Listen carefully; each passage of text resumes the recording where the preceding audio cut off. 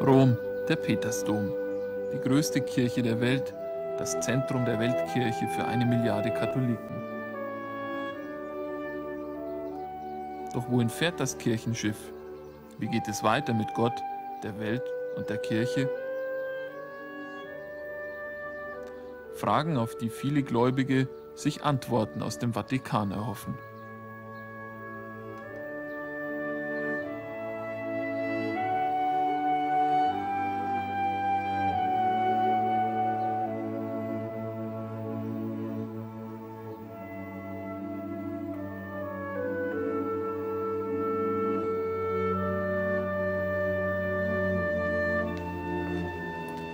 Josef Kardinal Ratzinger, Präfekt der römischen Glaubenskongregation. Der Hüter des Glaubens ist ein Mann, der immer wieder durch offene und unbequeme Meinungen über Glauben und Leben Aufsehen erregt.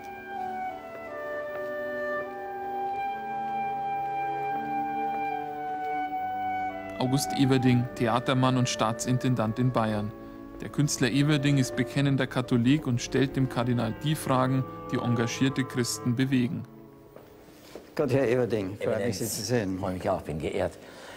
Eminenz, wir wurden eingeladen zu einer Sendung Begegnung in Rom. Eine Begegnung in Rom ist natürlich für Sie eine Begegnung im Vatikan. Ja. Ist der Vatikan noch das Zentrum der Welt? So würde ich es nicht ausdrücken, aber er ist immer noch ein bedeutender geistiger Mittelpunkt, an dem sich Menschen von überall her treffen, ein Ort, der Menschen zueinander führt. Und er ist für die Kardinäle kein Gefängnis? Überhaupt nicht, denn die Kardinäle fliegen quer über die Welt. In jedem Flugzeug können sie einen antreffen. Und wenn unsere Sendung hieße Begegnung in München, wo würden wir uns denn da treffen? Ich denke im Prinzregententheater. Dankeschön. Nein, ich würde mit Ihnen auf die Ratzinger Höhen fahren am Chiemsee. Das wäre gut, weil ich leider noch nie dort war. Aber unser Gespräch wird in diesem wunderbaren päpstlichen Bibliotheksräumen stattfinden, wo wir jetzt hingehen. Das tun wir, ja.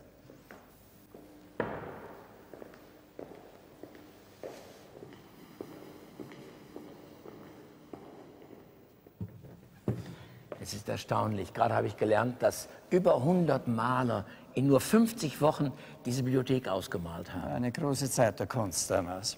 Und hier, Sie wissen das alles, aber dass die ganzen Konzilien der Kirchengeschichte hier abgebildet worden sind. Eben habe ich gesehen, bei einem ging es sogar so dramatisch zu, einer hat seine Mitra hingeworfen. Ja, ja, das kam vor. Ich weiß nicht, was hier dargestellt ist, aber es gab dramatische Konzilien. Ja. Eminenz, darf ich fragen, das letzte Konzil, war das ein Sprung nach vorne oder ist da was stehen geblieben? Ich würde sagen, die Geschichte springt nicht. Sie geht normalerweise manchmal schneller, manchmal langsamer voran. Und äh, manches muss sie bewahren, manches abstoßen. Insofern ist das Konzil gemischt aus allem, würde ich sagen. Es hat große Impulse gegeben, andere Dinge, die nicht richtig aufgenommen, verstanden worden sind. Und der Prozess der Aneignung ist auch immer noch im Gang. Man kann auch gar nicht abschließend sagen, welche Kraft es für die Geschichte dann wirklich entwickelt. Einige Kritiker sagen, der Heilige Vater wurde hinter das Konzil zurück. Stimmt das? Nein, auf gar keinen Fall. Er ist ein Mensch, der vom Konzil zutiefst erfüllt ist. Für ihn war nach seinem Studium, allem, was er erlebt hatte, das Konzil eigentlich der große Augenblick, wo er Weltkirche gelernt hat, wo er vor allen Dingen seine eigentliche Philosophie erst vollends entdeckt hat sodass er vor allen Dingen von zwei Texten ganz erfüllt ist, von dem über Kirche in der Welt von heute, die seinen eigenen Studien über den Menschen entgegenkamen, und das Ökumenische hat ihn zutiefst bewegt. Aber Eminenz, nach dem Konzil gab es doch so etwas wie eine Kulturrevolution, nicht wie die chinesische, aber so etwas, was die Liturgie angeht, da waren doch eigentlich Dinge im Gange, die mir nicht so gefallen haben. Ja, das kann man schon sagen. Es fiel natürlich zusammen mit diesem Generationenumbruch der 68er Jahre, und die Kirche lebt ja nicht auf einem anderen Planeten. Sie besteht aus den gleichen Menschen, wie die, die, die Gesellschaft auch ausmachen. Und so sind natürlich beide Dinge irgendwie ineinander gegangen. Es war nicht schwer, sozusagen ein Missverständnis der Liturgiekonstitution zu entwickeln, als ob nun alles anders werden müsste, als ob sozusagen die große Kultur, die darin lebt, nur noch eine Last sei, von ja. der man sich befreien muss. Insofern hat die Kulturrevolution natürlich auch mitten in der liturgischen Entwicklung zugeschlagen als eine Form eines Missverständnisses dessen, was Erneuerung sein sollte. Ja, aber Liturgie wurde oft dargestellt als Theater und zwar despektierlich wurde es gesagt. Für mich war das natürlich Theater ist das Schönste, was es gibt. Und es ist nicht Theater. Aber dann, dass der Priester so als Showmaster auftrat, verzeihen Sie bitte diesen Ausdruck, und dass aus dem sinnerfüllten liturgischen Geschehen plötzlich nur etwa ein sinnliches Geschehen wurde, das hat mich doch gestört. Ja, und stört auch mich, denn der Priester ist eben kein Showmaster. Die gibt es andere, besser ausgebildete und in Materien, wo es auch dazu passt, während er in der Liturgie als Person zurücktreten sollte und ja den anderen darstellt und vertritt, auf den allein es ankommt, nämlich Christus. Und ich glaube, äh, das ist auch die große Gefahr einer neuen Klerikalisierung, wenn alles am Priester liegt oder am Liturgiekreis, der das vorbereitet und wir nicht einfach in ein großes Geschehen hineintreten, das weit über uns hinausreicht, uns vorausgeht und uns wohin führt, ja. wo wir selber gar nicht reichen. Ja, und Weihrauch weg, aber so Tanz um den Altar ja. herum, ich weiß nicht genau. Ja. Es sollte ja nur die Gläubigen näher bringen an das Geschehen, aber hat es sie näher gebracht? Ich glaube nicht. Man hat nämlich eben zu sehr nur noch an Versammlung, nicht mehr an Sammlung gedacht. Und näher kommt man sich eigentlich nur, wenn man gesammelt ist, weil man dann in die Mitte geht, in der man sich berührt und sich aufeinander trifft. Wenn die äußeren Elemente so sehr überwiegen, das Mitmachen, jeder muss etwas tun, jeder muss eine Rolle haben, äh, dann gerade bleibt man im Äußeren stecken und dieses innere Zueinanderkommen, das durch die Bewegung des gemeinsamen Glaubens äh, stattfindet, das äh, fällt dann eigentlich aus. Wenn jetzt gerade in diesen Tagen werden Sie immer wieder gefragt, und zwar immer dieselben sehr bedringlichen dringlichen Fragen gefragt. Sie wissen, Zölibat und Frauenordination und äh, Abtreibung und Verhütung, das, das will ich heute nicht fragen. Denn Sie haben das sehr präzise in Ihrem letzten Buch Salz der Erde, wie ich glaube, beantwortet. Und man sollte es auch nicht immer wieder breit treten, einmal versuchen, die, die größeren Zusammenhänge erkennen, um die es geht. Ja, äh, hat Sie es nicht stutzig gemacht, dass dieses Buch selbst im Spiegel eine so gute Kritik gekriegt hat? Das hat mich wirklich sehr gewundert. Aber es ist doch eigentlich ein sehr positives Zeichen, dass es auch Objektivität gibt und dass es die Möglichkeit des Zuhörens gibt, wo man sie gar nicht vermuten würde. Ich denke, dass es sehr wichtig war, dass das Buch nicht einfach an mir geschrieben worden ist, ja. sondern dass es im Wort entstanden ist und im Gespräch entstanden ist. Äh, mich hat besonders gefreut, das werden Sie verstehen, dass dieses Buch ein Dialogbuch ist. Denn äh, Dialog, das ist meine Welt. Ich muss mit Sängern, mit Schauspielern sprechen, mit Autoren sprechen. Sicher nicht immer ganz leichte Dialoge. Nicht leicht, aber Sie sind auch immer im Dialog. Sind Sie noch im Dialog mit der Welt oder sind Sie nur im Dialog mit Bischöfen und Päpsten und Gott? Das äh, ist natürlich schwer zu entscheiden. Aber da würde ich auch wieder sagen, die Bischöfe leben vielleicht manchmal etwas zu sehr im Abstand von der Welt, aber im Großen und Ganzen sind auch Bischöfe ein Stück Welt. Wir reden in der Tat überwiegend mit Bischöfen, mit Menschen der Kirche, aber doch auch mit anderen, weil ja, sagen wir gerade heute, wo die großen Probleme der politischen Ethik da sind, der medizinischen Ethik, der Sozialethik, Menschen aus diesen Bereichen zu uns kommen und das Gespräch wünschen, sogar weit über die Möglichkeiten hinaus, die ich habe, sodass man, glaube ich, nicht sagen kann, dass wir sozusagen in einem klerikalen Kerker uns bewegen und selber bespiegeln, sondern die Realität von heute ist so stark, dass sie einen schon anrührt und dass man mit ihr konfrontiert wird. Ich merke immer mehr, ich muss meine Studenten, die ja so überflutet werden von Bildern und von Worten, ich muss sie eigentlich erst dialogfähig machen. Äh, viele können gar nicht mehr sprechen und sich ausdrücken. Ja, das ist, denke ich, ein Problem unserer Fernsehwelt. Wir sind zwar jetzt auch fürs Fernsehen da, ja. aber man sieht und äh, hat kein wirkliches Gegenüber mehr, nicht wahr? Während, wenn das nicht da ist, muss man eben schauen, wie man zueinander redet. Insofern kann andererseits das Fernsehen aber auch ein Zwang dazu werden, dass man zuhört und dass man dann wieder redefähig wird. Aber ich glaube schon, es ist eine Generation, die das wirkliche Sprechen miteinander wieder neu erlernen muss. Fühlen Sie sich eigentlich noch verstanden? Wenn Sie schreiben und reden, hört man Sie, versteht man Sie? Ja, das kommt darauf an. Es gibt natürlich eigentlich theologische Bücher, die vielleicht etwas weit weg sind von äh, dem Denken der Sprache der Menschen. Aber dieses Buch mit Seewald hat doch gezeigt, dass dann, wenn eben der Zwang des Dialogs da ist, dass man, dass ich doch, Gottlob, heraustreten kann aus dem elfenbeinernen Turm der Fachlichkeit und dass äh, die Fragen, die zu bereden waren, doch die Menschen von heute berühren. Denn die Frage, wie lebe ich recht, wie lebe ich falsch und so, sind ja Fragen, die jeden Menschen immer angehen.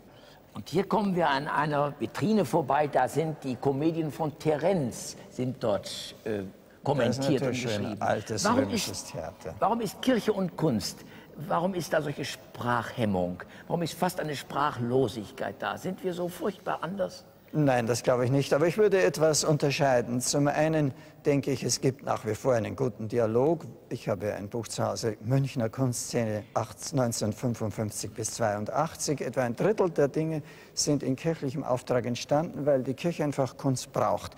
Die Liturgie kommt gar nicht aus ohne Kunst. Man muss singen, man braucht Bilder. Das Zweite Konzil von Nicea hat das entschieden.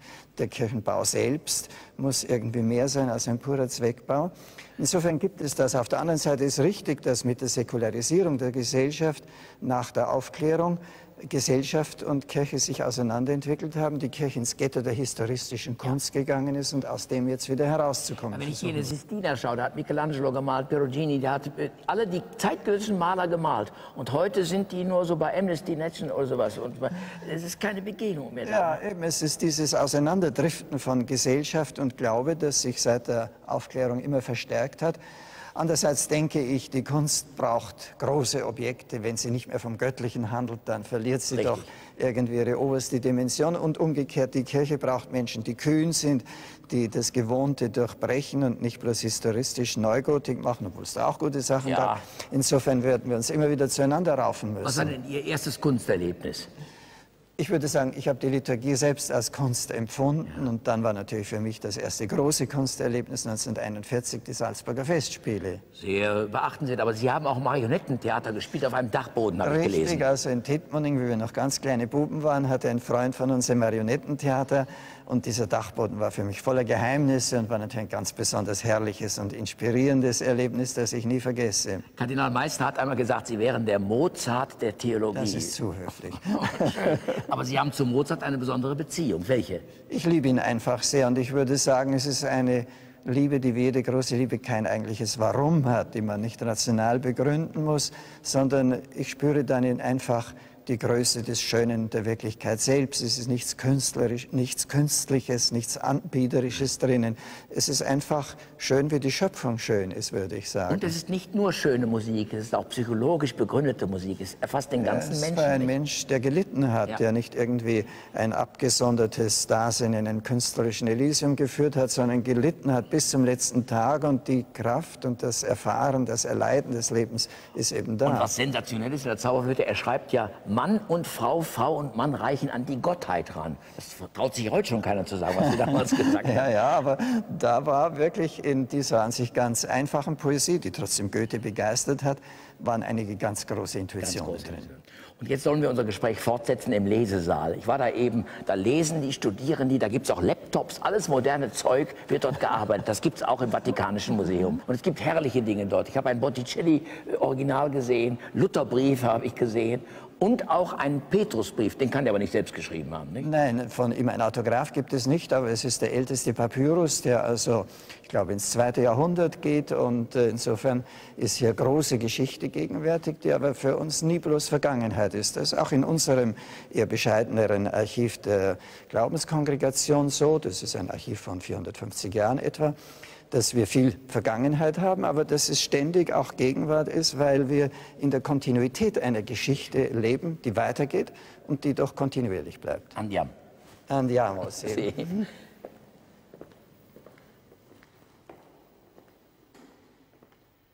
Eminenz, gestatten Sie eine Frage. Wovor haben Sie Angst? Angst vielleicht vor dem Zahnarzt oder auch vor anderen medizinischen Behandlungen sonst eher Sorge, dass mir nicht gelingt, etwas richtig auszudrücken, etwas richtig zu verstehen, dass ein Gespräch schief geht, das in einer wichtigen Sache zu führen ist. Und dann natürlich denke ich auch an das letzte Gericht. Nicht? Ich habe Angst vor dem gerechten Gott. Ich hoffe auf den lieben Gott. ja, ich hoffe, das ist ja ein und derselbe, aber trotzdem denke ich, es ist schon gut, wenn man auch immer den gerechten Gott im Blick hat und weiß, dass man nicht einfach wursteln darf. Im Credo hieß es doch früher abgestiegen zur Hölle, dann hieß es zur Unterwelt oder zu den Toten. Wissen Sie, was mich interessiert? Den Dialog, den Christus geführt hat, als der nach Karfreitag runter in die Hölle fuhr.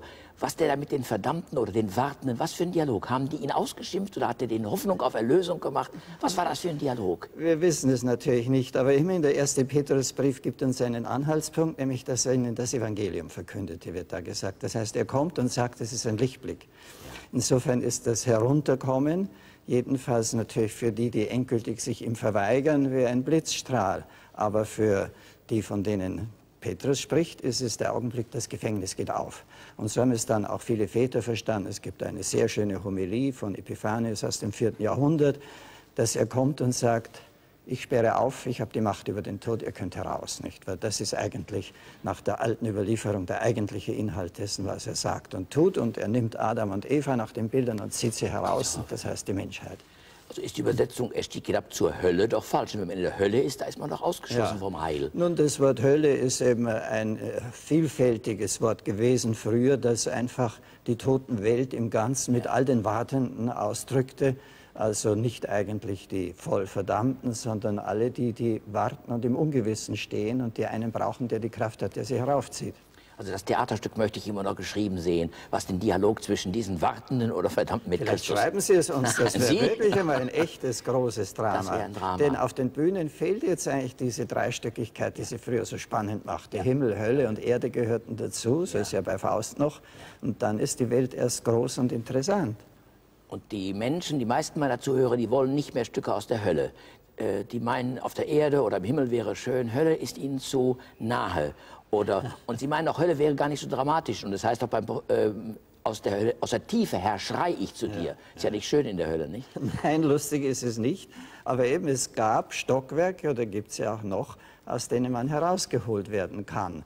Und irgendwie, ich meine, hatte ja Sartre nicht so ganz unrecht, die Menschen sind imstand, sich die Erde selbst zur Hölle zu machen. Dann rufen sie auch aus der Hölle herauf und wollen es zwar nicht zugeben, aber es ist so. Und ich glaube, das ist heute doch in vielen Situationen der Fall, sowohl in der reichen Welt wie in der Welt der Bedrückten, wenn wir jetzt also eben an all die Situationen des Bürgerkriegs, der Selbstzerfleischung der Menschen denken, wie viele Menschen rufen sozusagen aus der Hölle zu Gott herauf, aber wissen, in diese Hölle reicht er herunter, weil wir herauf wollen. Es gibt so viele Bösewichter und so viele Gute auf der Welt. Bei mir im Theater ist es so, es ist so viel leichter, die Bösewichter zu spielen. Warum ist das so viel leichter, als einen Heiligen zu spielen? Ist der langweilig? Oder wir stellen uns langweilig vor, weil wir das Gefühl haben, der ist dann ganz ausgeglichen, der ärgert sich nicht mehr und der schreit niemand mehr an, macht nichts mehr verkehrt und das kommt uns natürlich langweilig vor. Ich glaube in der Tat, dass für uns leichter ist, sozusagen den Bösewicht oder einfach den ringenden, unfertigen ja. Menschen darzustellen, den der angelangt ist, der gehört irgendwie nicht mehr zu unserer eigenen Erfahrungswelt, nicht wahr? Und insofern haben wir davon keine Anschauung und können ihn auch nicht richtig darstellen. Wir können sozusagen auf den Stufen des Weges ja. darstellen, aber dann das andere ahnen wir nur noch. Und heilig gehen ist schwer, nicht? Dramatisch gehen ist leicht.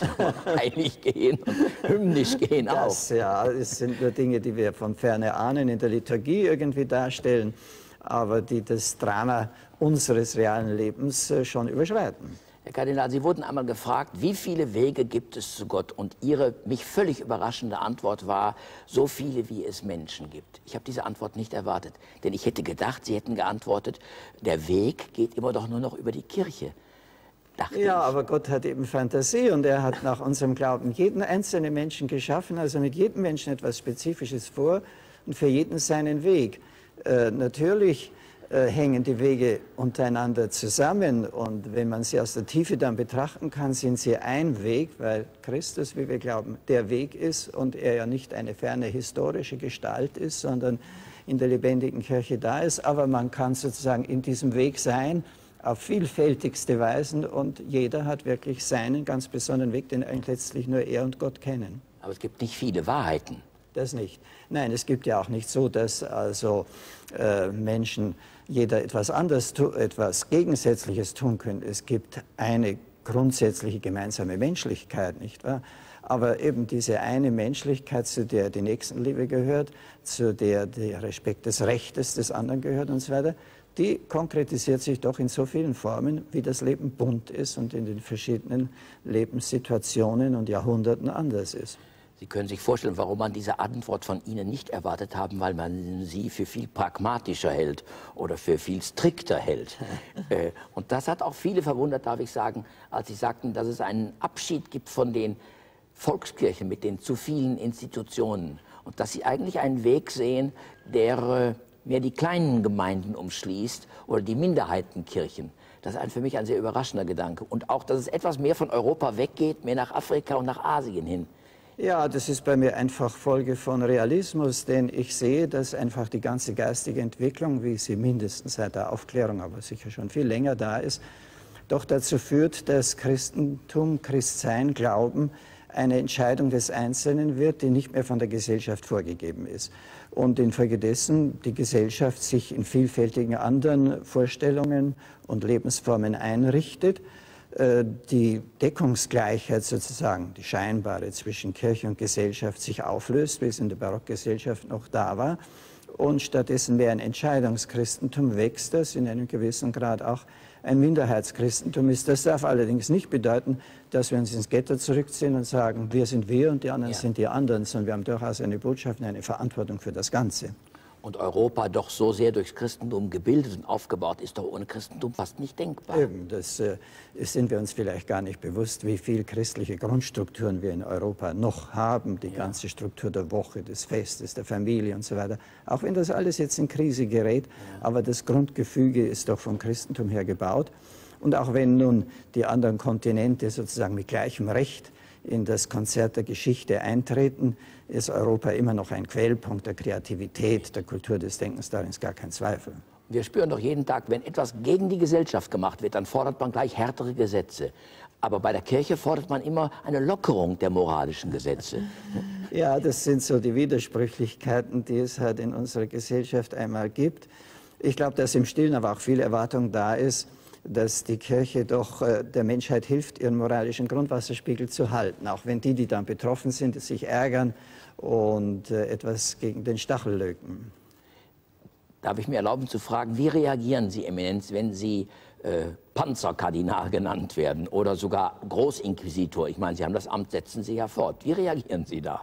Ja, nun, ich meine, das finde ich so karikatural, dass es mich nicht aufregt, denn Panzerkardinal ist von Leuten gemacht worden, die eine bestimmte Idee von den Deutschen haben. Nicht wahr? Ich bin ein Deutscher, habe bestimmte Sachen entschieden, dann sagt man, es ist ein Panzerkardinal. Großinquisitor ist eine historische Einordnung, irgendwo stehen wir in der Kontinuität, aber wir versuchen halt das, was nach damaligen Methoden zum Teil kritisierbar gemacht worden ist, jetzt äh, aus unserem Rechtsbewusstsein zu machen. Aber man muss doch sagen, dass Inquisition der Fortschritt war, dass nichts mehr verurteilt werden dürfte ohne Inquisitio, das heißt, dass Untersuchungen stattfinden mussten. Ein Rechtsbewusstsein war auch darin da. Ich hätte diese Begegnung ja auch gerne in Ihrem Officio gehabt. Äh, kennen Sie die Geheimarchive Ihres Amtes? Ja, also ich meine, es gibt keine Kerker mehr. Es gab wohl natürlich da Haftzellen, die aber nicht mehr da sind, aber das Archiv schon. Und wir sind ja dabei, dieses Archiv der Öffentlichkeit, das heißt natürlich nur der wissenschaftlichen Öffentlichkeit, zugänglich zu machen. Wir wollen einfach die Regeln, die das Vatikanische Archiv hat, auch bei uns anwenden. Das stößt noch auf Schwierigkeiten, weil die Räume noch nicht modern genug sind. Aber jedenfalls, ich kenne sie. Wir sind auch dabei, unsere alten Bestände zu restaurieren, interessante Bestände herauszugeben. Wir werden im Sommer einen ersten Band herausgeben. Also insofern versuchen wir dieses Archiv, das so geheimnisvoll ist, an das Licht der Öffentlichkeit zu bringen. Äh, wie reagieren Sie auf den Satz von Professor Küng, wenn der sagt, Herr Ratzinger vertritt mit moderner Terminologie ganz mittelalterliche Positionen. Stimmt das? Man muss halt fragen, was ist mittelalterlich, ja. nicht wahr? Also ich sehe das Mittelalter nicht so finster, wie vielleicht, ich weiß es nicht, Küng es ansieht. Aber vor allen Dingen, ich bin der Meinung, dass wir als Katholiken ja einen Glauben haben, der sich entfaltet, aber der mit dem Glauben Israels beginnt, der seinen eigentlichen äh, Kristallisationspunkt im Glauben des Neuen Testamentes hat und den alle Generationen auf ihre Weise auszusagen versuchten. Da ist die Kontinuität der Generationen wichtig, vor allem die Kontinuität im Wesentlichen. Ich hoffe, das Gleiche zu glauben wie der heilige Paulus. Warum wurde die Welt durchs Christentum nicht besser. Jetzt haben wir schon 2000 Jahre Christentum und immer war angestrebt, dass es doch etwas besser wird und es ist immer noch so schlecht. Warum hat das Christentum fast nichts bewirkt? Ja, das ist natürlich eine große Frage, die jeden gläubigen Menschen sehr bedrängt. Aber ich denke, man muss da eben an die Freiheit der Menschen denken und dass die Geschichte nicht einfach ein Kontinuum ist, wo es sozusagen immer weiter geht, wie bei der Entwicklung von Apparaten und dergleichen Dingen, sondern jede Generation ist neu, jede kann wieder abfallen, jede kann wieder es ganz anders machen. Das heißt, solange Freiheit bleibt, ist die Entwicklung der Geschichte nicht einfach ein Kontinuum, weder zum immer besser noch zum immer schlechteren, sondern immer das Abenteuer neuen Beginns. Und das muss man, glaube ich, ansehen. Das war aufregend für mich der Gedanke, dieser sozialistische Optimismus, den wir ja mal gehabt haben, von null immer weiter bis 1000, der ist ja zerbrochen. Nicht? Ja, ja. Äh, und dass Sie gesagt haben, mit jedem Menschen fängt ja eine neue Geschichte an. Ja. Geschichte geht nicht weiter. Nicht?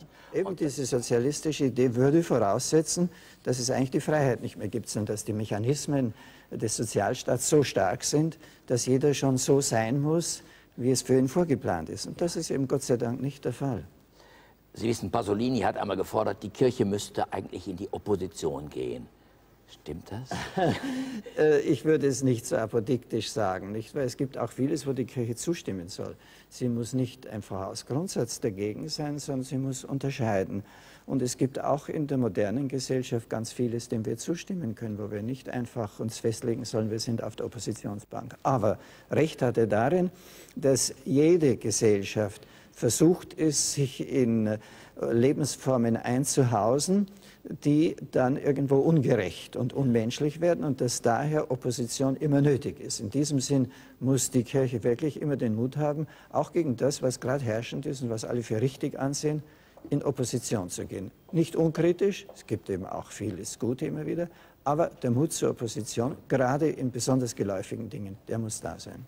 Gerade in diesen Tagen der Begegnung mit Rom sehe ich wieder diese Fülle, auch diesen Kulturluxus. Und so viele sagen, dann ist doch viel zu reich die Kirche. Ich stimme dem nicht zu. Ich denke immer das Bertolt Brecht-Wort, Kultur ist ein Luxus, ja, aber ein Luxus, für den es sich zu leben lohnt. Und Kardinal Meissner hat gerade gesagt, die Kirche müsse wieder ärmer werden. Das Gut der Kirche ist wichtiger als die Güter der Kirche. Ja, das ist ein Wort von Pius X. Das war ja damals in dem Kampf, ob man äh, bei der Trennung von Staat und Kirche in Frankreich die angebotene Verfassung übernehmen sollte, durch die der Staat das Eigentum der Kirche zwar übernommen, ja. aber der Kirche zur Verfügung gestellt hätte und nach Meinung des Papstes die Kirche damit unfrei geworden wäre. Dann hat er gesagt, nein, das Gut ist wichtiger als die Güte dann werden wir eben ganz arm. Und das muss auch, denke ich, schon ein Grundsatz der Kirche sein, dass das Gut über die Güte geht.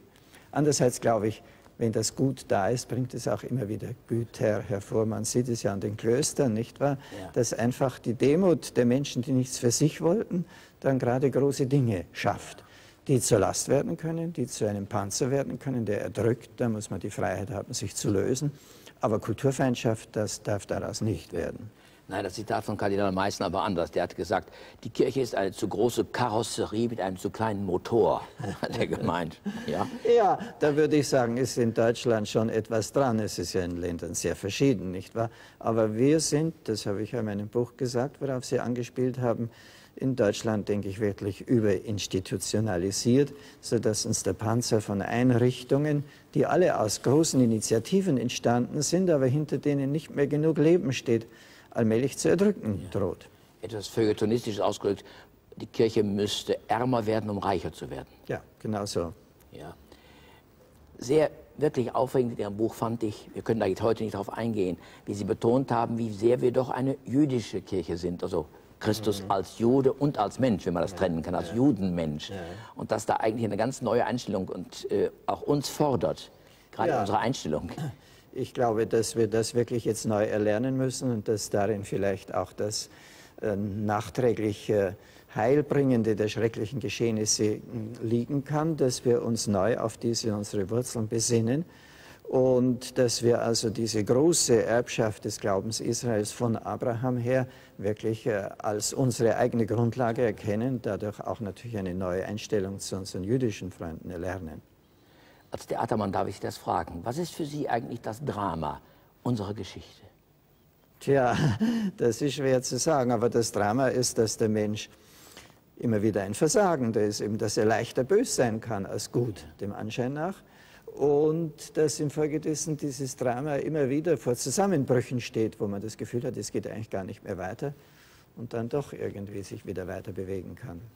Und eine Entscheidung zur Liebe wird doch auch wohl das Drama sein, ob man Ja oder Nein zur Liebe sagt. Das ist der eigentliche Kernpunkt im Drama eines jeden Menschenlebens, ob das gelingen kann. Äh, Sie haben aber auch gesagt, und das finde ich so wichtig für die Krisenbeschreibung unserer Zeit, die Vermischung von Wahrheit und Unwahrheit. Und gerade die Medien sind ja nicht ganz unschuldig daran, da sie dann doch immer mehr über, die, über das sensationelle, vielleicht Unwahre berichten, als wie über das unsensationelle Wahre, nicht? Ja. Ich möchte jetzt da natürlich nicht in eine Medienbeschimpfung ausbrechen, das wird uns immer vorgeworfen, aber das liegt, glaube ich, im Wesen des Mediums selbst, dass es das Aufregende, das Spannende bevorzugt und dass damit natürlich die alltäglichen Dinge, die eigentlich die Welt zusammenhalten, äh, kaum in Erscheinung treten können. Und damit sagen wir, die Gewichte zwischen dem Wesentlichen und Unwesentlichen verschoben werden. Und dann ist eben ein Punkt, auf dem ich immer etwas bestehe. Die Menschen sind ja beim Ereignis selbst nicht dabei aber Sie sehen den Bericht über das Ereignis, der notwendigerweise schon eine Interpretation und eine Auswahl ist. Und am Schluss wird also der Bericht wichtiger als das Faktum selbst. Das heißt, wir fangen an, immer mehr vom Schein zu leben, von der Erscheinung und äh, damit sozusagen dann auch für die Erscheinung zu produzieren. Auch die Politiker, auch die Kirchenleute sind in Gefahr, dass sie nicht mehr fragen, was ist jetzt das eigentlich Richtige, sondern was wird ankommen, wie wird es berichtet werden, wie wird es angenommen werden. Das heißt, dass man schon gar nicht mehr für die Wirklichkeit handelt und nach den Maßstäben, die einem dafür das Gewissen vorgäbe, sondern für die Erscheinung handelt, die man machen wird. Mhm. Und diese Knechtschaft, in der Menschen des öffentlichen Lebens, Politiker wie Kirchenmänner, sehr leicht geraten können, die wäre dann natürlich wirklich verhängnisvoll, wenn man nicht mehr handelt nach dem, was eigentlich als gut erkennbar ist, sondern nach der Frage, was erscheint gut, wie erscheine ich und so zum Knecht seiner eigenen Erscheinung wird. Eminenz, wir sprachen eben in der Liturgie darüber, aber auch da sind doch viele Pfarrer bedacht darauf, was ankommt und nicht worauf es ankommt. Das ist einer der großen Krisenpunkte und ich glaube schon, dass das auch mit ein Punkt ist, der den Rückgang der Kirchenbesuche erklärt. Einer unter vielen.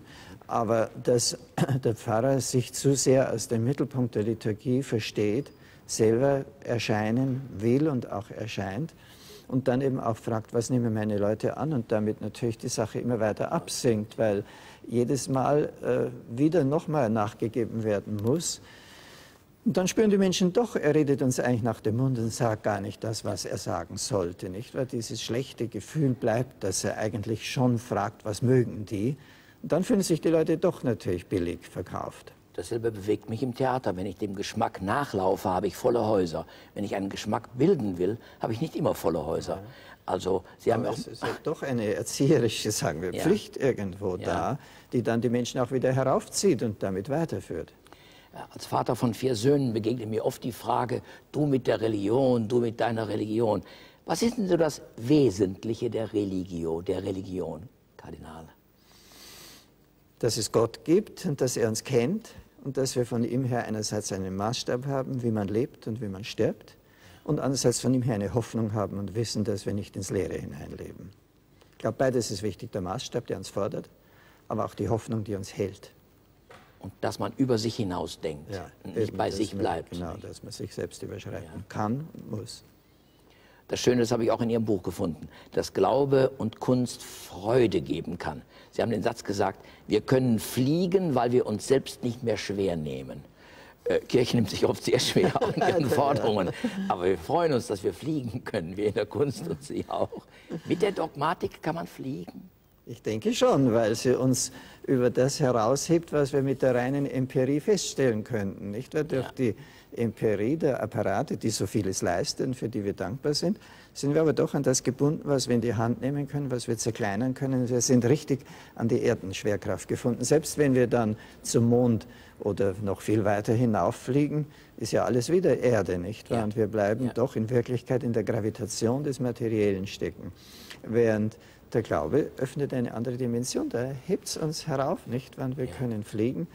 Und äh, es kommt ja auch in den Psalmen vor, nicht? Äh, der Beter sagt, ich bin ein Spatz, der bei dir wohnt. Und das ist nicht eine Selbsterniedrigung, sondern er will sagen, indem ich bei dir bin, fliege ich, bin ich leicht geworden äh, die Erdenschwere weg. Vier Jahre vor dem 2000. Sie können auch nicht sagen, keiner weiß, was es uns bringen wird. Der Heilige Vater hat einmal gesagt, nach den Trennungen des letzten Jahrtausends wird es eine Einigung geben. Haben Sie auch diesen Optimismus? Ich würde sagen, man muss immer hoffen, rein, wenn ich extrapoliere, was jetzt nach unseren menschlichen Ereignissen erwartbar ist, sehe ich zwar Ansätze dafür, aber ich würde es nicht sozusagen futurologisch extrapolieren können. Aber als Hoffnung würde ich sagen, müssen wir das vor uns sehen und andererseits ist doch richtig, dass in diesem Jahrhundert seit dem Ende des Ersten Weltkriegs zusehends Aufbrüche zur Einheit geschehen sind. Es sind viele neue Zerspaltungen geschehen, immerfort zerspalten wir uns, aber ein großer Aufbruch in Einheit ist seit dem Ende des Ersten Weltkriegs wirklich da. Und insofern ist es zwar eine Hoffnung, die wir nicht empirisch jetzt bestätigen können, aber die auch nicht fundamentlos ist. Und der Papst äh, hat eben diese geschichtsphilosophische Idee, wenn man so sagen will, das zweite Jahrtausend war wirklich Jahrtausend von Spaltungen. Warum sollte nicht das Neue jetzt wieder ein Jahrtausend der Einigungen sein? Ob wir es wissen oder nicht, wir sollten auf jeden Fall daraufhin handeln und daraufhin ja. leben.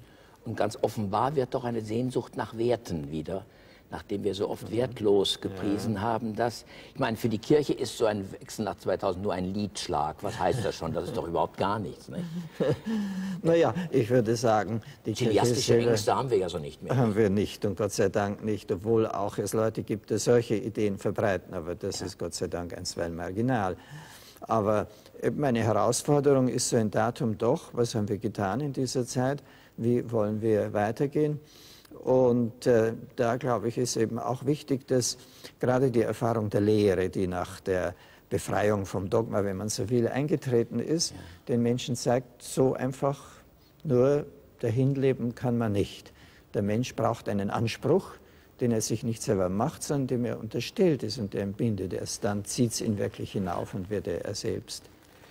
Was sagen Sie zu dem Satz von Karl Rahner, der Christ der Zukunft wird Mystiker sein oder er wird nicht mehr sein? Ja, da schwer mit. Da habe ich schon öfter Stellung nehmen müssen. Wenn man darunter verstehen würde, dass alle Leute ungefähr Erlebnisse wie die heilige Theresia von Avila haben müssen, um Christen zu sein, dann ist er ganz bestimmt falsch, nicht wahr?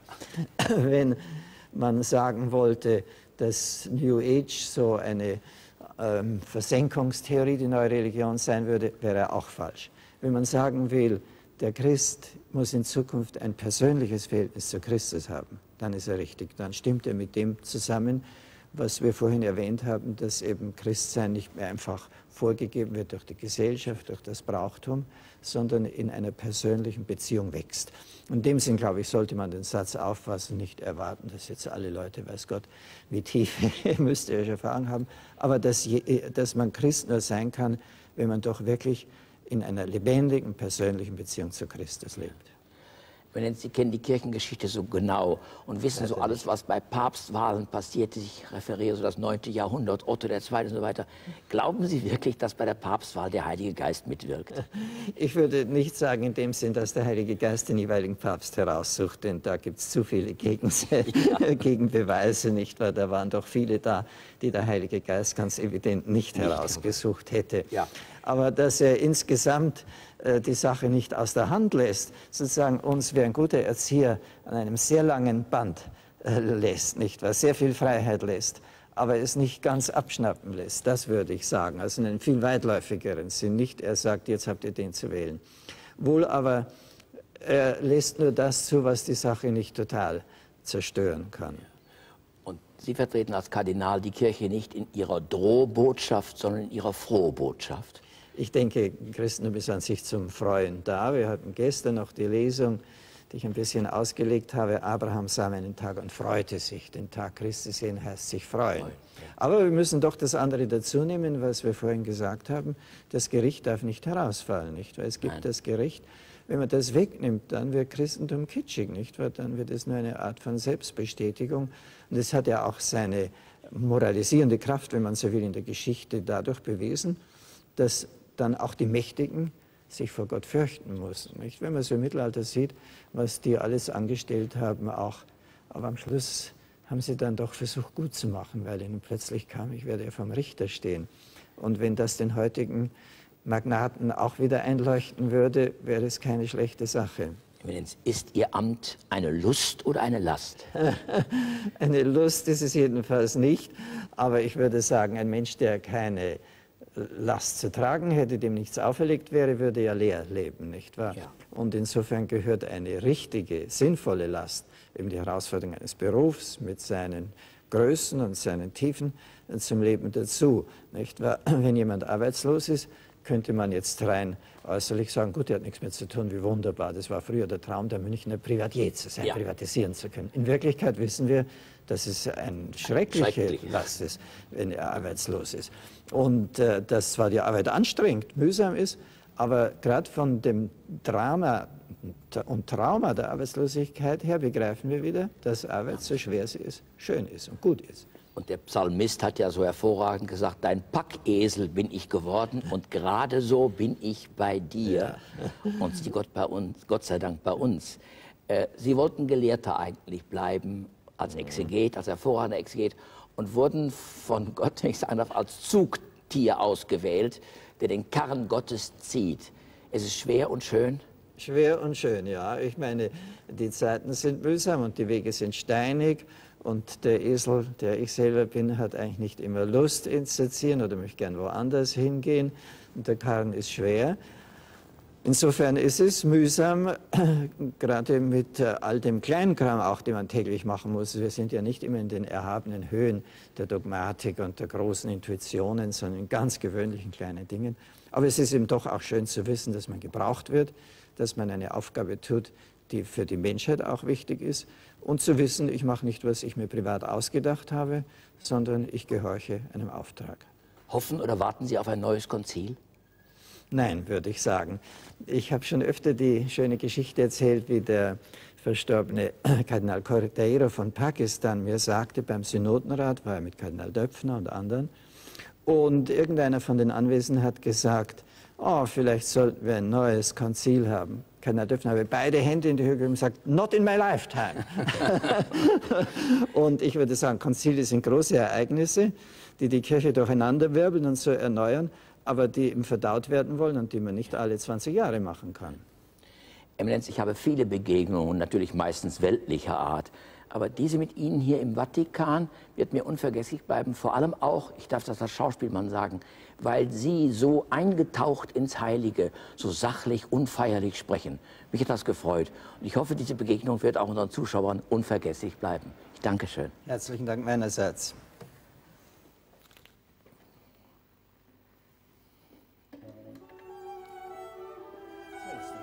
Jetzt dürfen wir schon.